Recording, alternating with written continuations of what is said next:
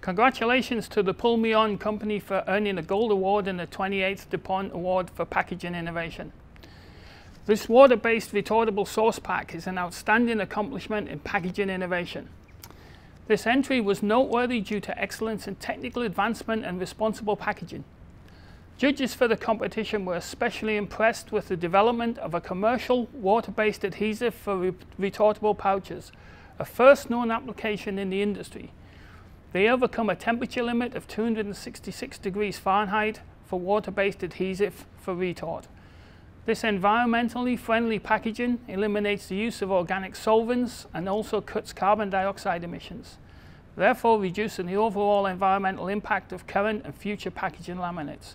Congratulations once again to the Pulmuone company.